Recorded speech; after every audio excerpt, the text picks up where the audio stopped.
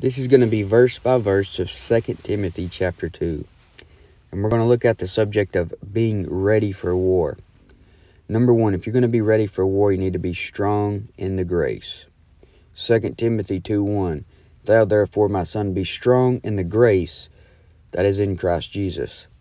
If you're really strong, then it isn't your own strength. You're a weakling compared to other beings in existence. Because 2 Peter 2.11 says the angels are greater in power and might. And God created the angels. The one who created the angels lives in you. That is where you're truly strong, is when you're when you put things in his hands. So be strong in Christ. As it says in Ephesians 6:10, finally my brethren, be strong in the Lord and in the power of his power of his might. 2 Corinthians 12:10 Therefore I take pleasure in infirmities and reproaches and necessities and persecutions and distresses for Christ's sake. For when I am weak then am I strong. So you're strongest when you're weak because when you're weak you put your faith on him the one that's really strong. So if you're ready for war then you're strong because the Lord is a man of war and he is in you the lion of the tribe of Judah lives in you. So if you're ready for war, you're strong in the grace that is in Christ Jesus. And next, if you're ready for war, then you're faithful. 2 Timothy 2 2 And the things that thou hast heard of me among many witnesses, the same commit thou to faithful men, who shall be able to teach others also. So Timothy was supposed to teach faithful men what Paul taught. And that was more than just the fundamentals, it was more than just Pauline doctrine.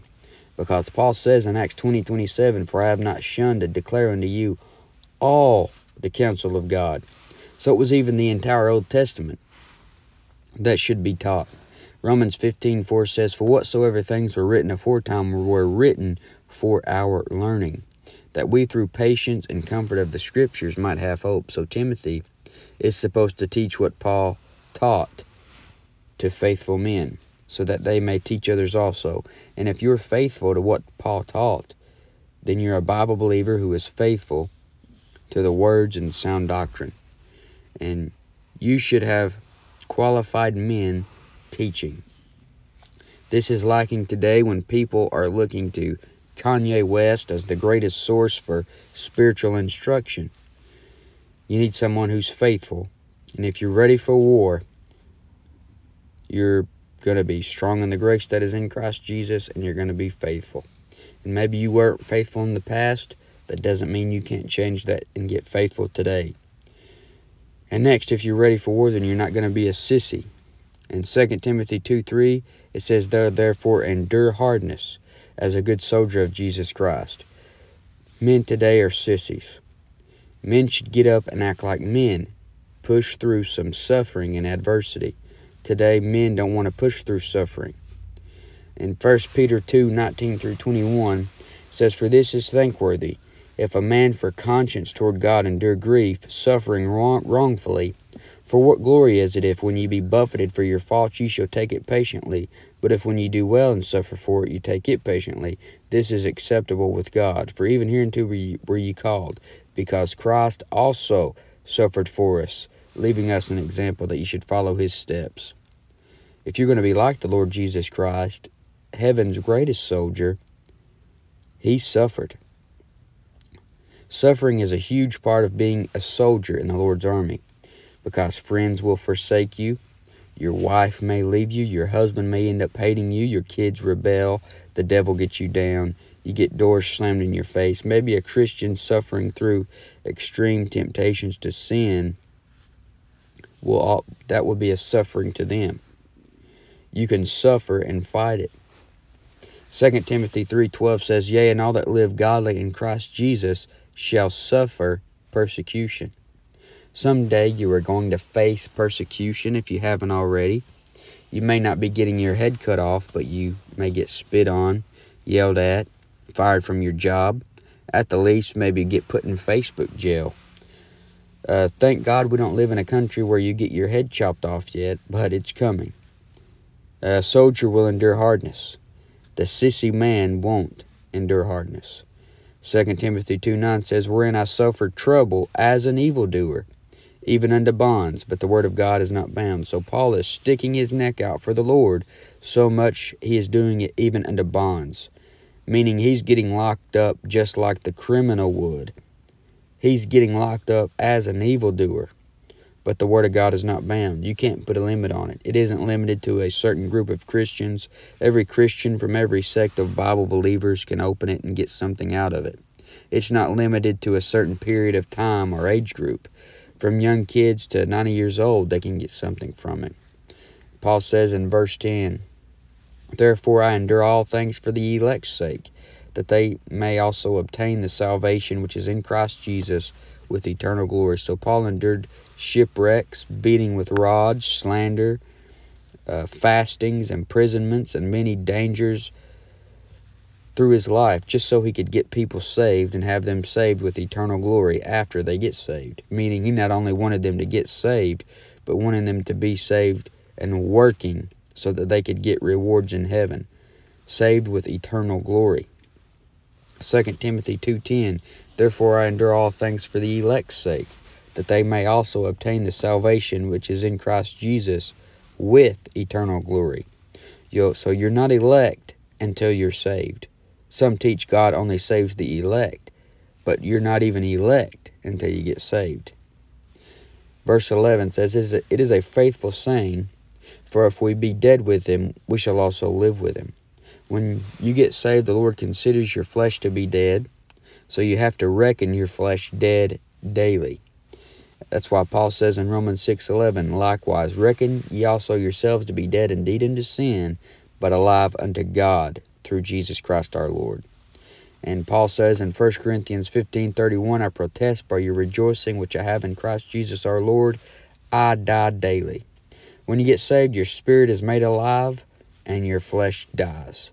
So if you want to live life to the fullest, as they say, then walk in the spirit because it's alive. When you walk in the flesh, you're being controlled by a dead corpse. When you learn that you need to yield yourself to God, then you really start living like you're leaving. Ephesians 2 6 says, And hath raised us up together and made us sit together in heavenly places in Christ Jesus. In the sense that you're already in the body of Christ, you are already sitting in Christ, sitting in heavenly places in Christ Jesus. And being saved and living the crucified life is getting as close as you can get to heaven while you're still on this earth. 2 Timothy 2.12 says, If we suffer, we shall also reign with him. If we deny him, he also will deny us. A good soldier endures hardness. He endures suffering. You're not a child or a sissy if you're in the Lord's army. If you suffer with God because all that live godly in Christ Jesus so suffer persecution, then you're going to reign with him in the kingdom. If you deny him before men, then he will deny you your reign. He won't deny your salvation because you're born again, you can't get unsaved, but he will deny your reign. You won't reign over as many cities. You see, if we suffer, we shall also reign with him. But if we deny him, he will deny us. What's the context? He'll deny your reign. Verse 13 If we believe not, yet he abideth faithful, he cannot deny himself. This verse proves eternal security. I'm in the body of Christ. Since I'm in him, he can't deny me because then he would be denying himself. I'm a member of the body of Christ. If he denies me, he denies himself. Someone may ask, What if you get saved and quit believing? You're still saved. A person could get saved and talked out of their faith by a college professor or atheist, but if that person truly came to a place where they believed in the Lord Jesus Christ with the heart to save them, then they're saved. And it doesn't matter what anybody says. It doesn't matter what any preacher says. If a person believed on the Lord Jesus Christ and truly believed from the heart, then they're saved. And God said that himself. So the saved person would still be saved, but deceived if they quit believing. So love not the world. If you're going to be a soldier in the Lord's army, if you're going to be ready for war, love not the world. 2 Timothy 2 4 says, No man that warreth entangleth himself with the affairs of this life, that he may please him who hath chosen him to be a soldier. So some people are more concerned with the gossip and lies on magazine covers than they are with reading the Bible. They are more concerned with celebrity gossip on the e news stuff than they are about the things of God. They'll sit around and just look at celebrity stuff all day long. But if you're going to war, then you need to set your affection on things above. If you go to if you're going to war, then you don't need to be concerned with the, the affairs of this life. Some Christians are more into politics. They care more about who uh, Trump is doing than anything. They know so much about Trump or about the politicians, uh, the the higher up people. They know more about these people than they know about the people in the Bible, than they know about the kings in the Old Testament. But if you're going to be ready for war, you need to know some things about the Word of God. You don't need to entangle yourself in the affairs of this life. And next, if you're ready for war, then you're in shape for battle. In 2 Timothy 2 5, it says, And if any man also strive for masteries, yet is he not crowned, except he strive lawfully. So 1 uh, Timothy 4 8 says, For bodily exercise profiteth little, but godliness is profitable unto all things, having promise of the life that now is and of that which is to come. So put yourself through some spiritual boot camp if you're going to be in shape for battle. Reading, memorizing, meditating, praying, and putting all of these things into use. Strive for masteries, but strive lawfully. Try to be the best Bible teacher, but don't change the Bible trying to do so. You need to strive lawfully. Win souls to Jesus Christ, but don't be deceitful to win them to Jesus Christ. You don't have to use rock music and worldly means to try to win people. Just strive lawfully. Do it how the Bible says to do it. But if you're ready for war, then you're going to be in shape for battle. If you're ready for war, then you're going to be a worker. 2 Timothy 2 6 says, The husbandman that laboreth must be first partaker of the fruits. So the husbandman, which is a farmer, is the first partaker of the fruits he labors for. And when you first get saved, many times God will give you a glimpse of how great the things of God are and maybe let some victories fall into your lap just to show you how great serving God is. So the husband, the husbandman that laboreth must be first partakers of the fruits. He will put some victories on you. The Lord will put victories on you so that you will want to work more. And if you're ready for war, then you're ready for work.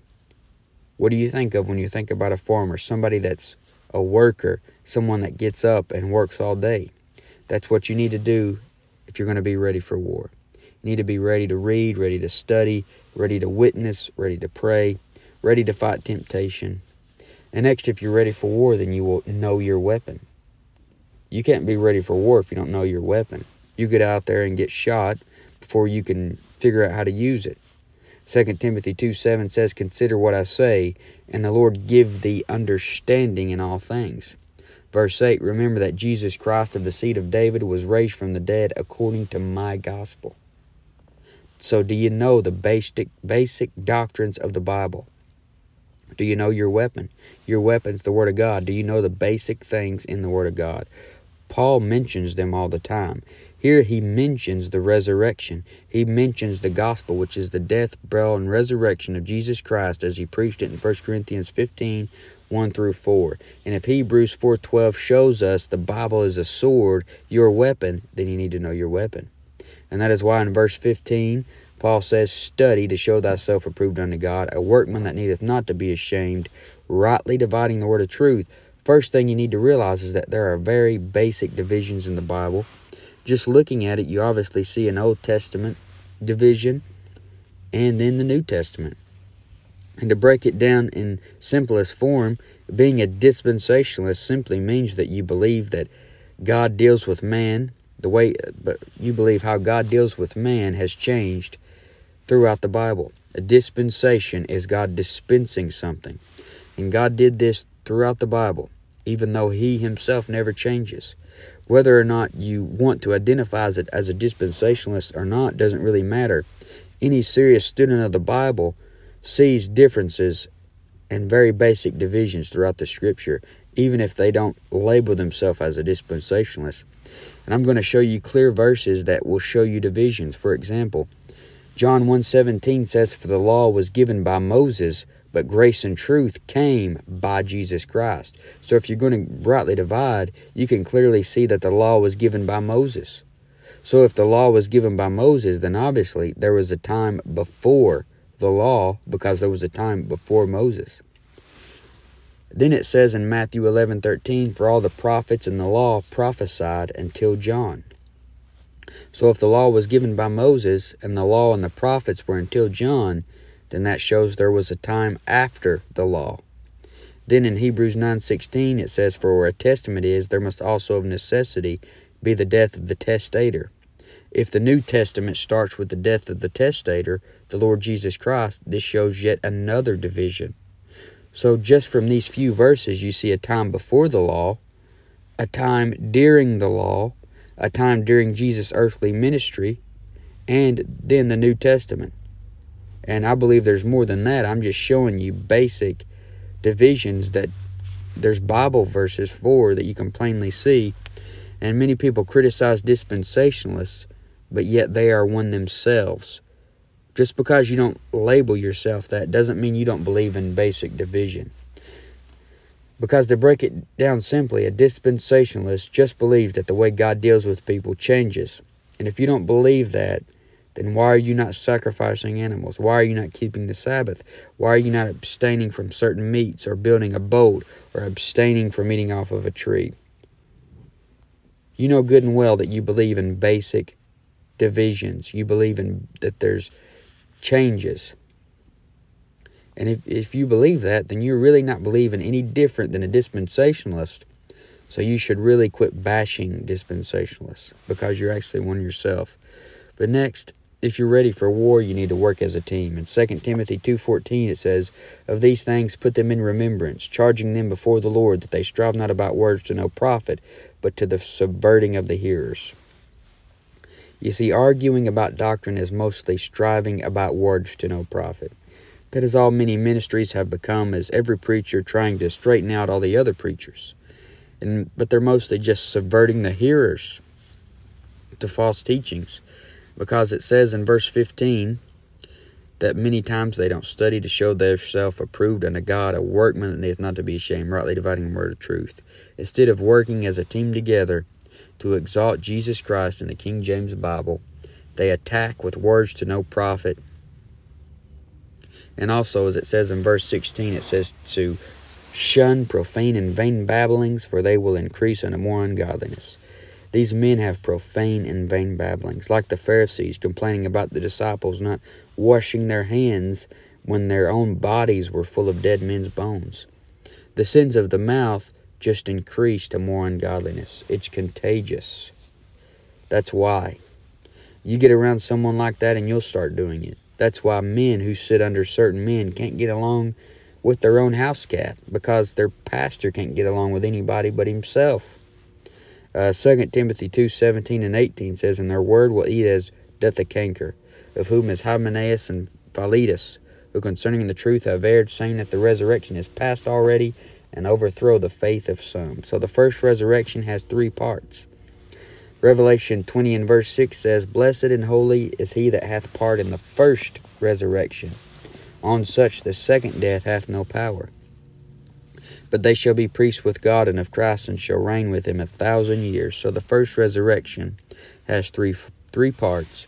In 1 Corinthians 15, you see Christ is the first fruits.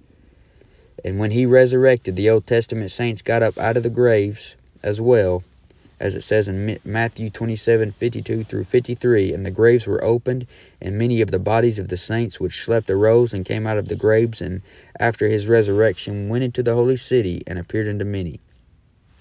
So you see, that's Christ, the first fruits with the Old Testament saints. That's one part of the resurrection. 1 Corinthians 15 23. But every man in his own order, Christ the first fruits. Afterward, they that, they that are Christ's at his coming. So Christ the first fruits. And then they that are Christ at his coming. Us saved people will be resurrected when Jesus Christ comes in the rapture, which you read about in 1 Thessalonians 4, especially see verses 16 and 17. And then the third part of the first resurrection has to do with the tribulation saints being resurrected. So you have first fruits, harvest, and the gleanings. And now these two guys, this Hymenaeus and Philetus, were going around during Paul's day saying the resurrection is past already, so they would probably be teaching that we were already reigning on earth now. But from reading Revelation, we can easily tell that isn't true because Satan isn't bound in the bottomless pit right now. But he will be when we're reigning for a thousand years. And then it says in 2 Timothy 2.23, But foolish and unlearned questions avoid, knowing that they do gender strifes. You know what troublemakers do? They go around asking questions like, why doesn't God heal amputees? Can God create a rock so heavy that he can't lift it? Why does God allow bad things to happen to children? You know, things like this trying to overthrow the faith of people with foolish and unlearned questions. But if you're ready for war, you're going to gird up your loins like the new man. You ever heard somebody say, act like a man? Well, you need to act like the new man. In 2 Timothy 2.19 it says, Nevertheless, the foundation of God standeth sure, having this seal, The Lord knoweth them that are his, and let every one that nameth the name of Christ depart from iniquity. In Job 8.11, or John at 11, it says, And Jesus said unto her, Neither do I condemn thee, go and sin no more. If you name the name of Christ, depart from iniquity. We aren't saved by abstaining from sin. We aren't saved because we do abstain from sin, but we should still abstain from sin. If you're not trying your best to live right, then you're putting on you're not putting on the new man and you aren't ready for war because someone in war is most likely praying to God that he doesn't get killed. It's a lot harder to pray when you are living for the devil. The Lord knows them that are his, as the verse said, and there are three people that know if you're saved, and that's you and God and the devil. I don't know you're saved. I just have to take your word for it. I have to believe your profession or your testimony, but God sees your heart. Now, even though people don't truly know that you're saved, you should still act like a saved man because cause all they have is your testimony and they see if you act like a Christian. So you need to possess your vessel in sanctification and honor as it says in 2 Timothy 2 20 and 21. But in a great house there are not only vessels of gold and of silver, but also of wood and of earth, and some to honor and some to dishonor. If a man therefore purge himself from these, he shall be a vessel unto honor, sanctified and meet for the master's use, and prepared unto every good work. If you purge yourself from these, what are these? I believe in the context the these are all the bad things Paul has listed in the chapter. For example, profane and vain babblings, striving about words to no profit, false doctrine, saying the resurrection is past already when it, when it isn't, and so forth and so on. Purge yourself from these, and you will possess your vessel in sanctification and honor. You'll be meeting, you'll be meat for the master's use. Meat, as in to match. You'll you'll be sanctified. You'll be set apart. But you also need to flee also youthful lust, as it says in verse 22, and follow after righteousness, faith, charity, peace with them that call on the Lord out of a pure heart. So flee youthful lust. In other words, if you see sin, run. Real men run from sin. Follow righteousness. Click the follow button on righteousness. Subscribe to it. Send it a friend request. Put it in your favorites. Put it at the top of your contact list and uh, get it to send you notifications. And that along with faith, because without faith it is impossible to please Him. And charity, which is a love specifically to other Christians that backs it up with an action. And peace, which is something you need to have with your brothers and sisters in Christ. And you need the peace of God that passes all understanding. And notice the end of the verse said, with them that call on the Lord out of a pure heart, showing your fellowship should be with those who are pure, with them that call on the Lord out of a pure heart. Next, if you're ready for war, you're going to be servant minded. In verse 24, it says, And the servant of the Lord must be not strive, but be gentle unto all men, apt to teach, patient. And moving on a bit further, be aware of the enemy. In 2 Timothy 2.16, it says, And that they may recover themselves out of the snare of the devil, who are taken captive by him at his will. If you're ready for war, then you're going to have to know the enemy. Similar to how an athlete watches the opponent to see his weakness or how he can have an advantage over their opponent so that his opponent doesn't give an advantage over him. Uh, 2 Corinthians 2.11 says, Lest Satan should get an advantage over us, of us, for we are not ignorant of his devices. People get caught in the snare of the devil. A Christian can be possessed in the sense that the devil can get his body. Now, he can't touch your soul or your spirit, but he can get this flesh because the flesh isn't saved. It's dead, and the devil can use it as his puppet, puppet if you let him. When you see a Christian get caught in the devil's net, you need to take your sharp sword, your sharp two-edged sword, and cut him out. What what you don't do is write your brother's sin on Facebook. What you don't do is look it up and dig up dirt and all these other things, trying to find out more bad things about him. You need to take your sword and cut your brother or sister out of the net of sin. Take your sword and cut them loose, and then build a hedge around them with prayer and exhorting them so that you can defend them against the wiles of the devil. And if you can't do that, you're not ready for war. There is no need for friendly fire in this war. Make sure you're aiming the weapon at the enemy and not your fellow soldier. But if you're still listening, this has been 2 Timothy chapter 2 about being ready for war.